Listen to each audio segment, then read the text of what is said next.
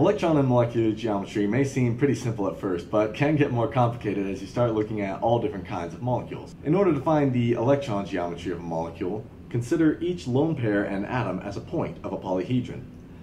In order to find the molecular geometry of a molecule, consider only the atoms and ignore the lone pairs. A water molecule is a great example to look at. Water has two hydrogens and two lone pairs, so it has four points total in the polyhedron, which makes it a tetrahedron. So the electron geometry is tetrahedral. If we ignore those two lone pairs, we can see that the two hydrogens are in a sort of bent conformation. So the molecular geometry is bent. So now I hope you can see how water can have both a tetrahedral and bent geometry.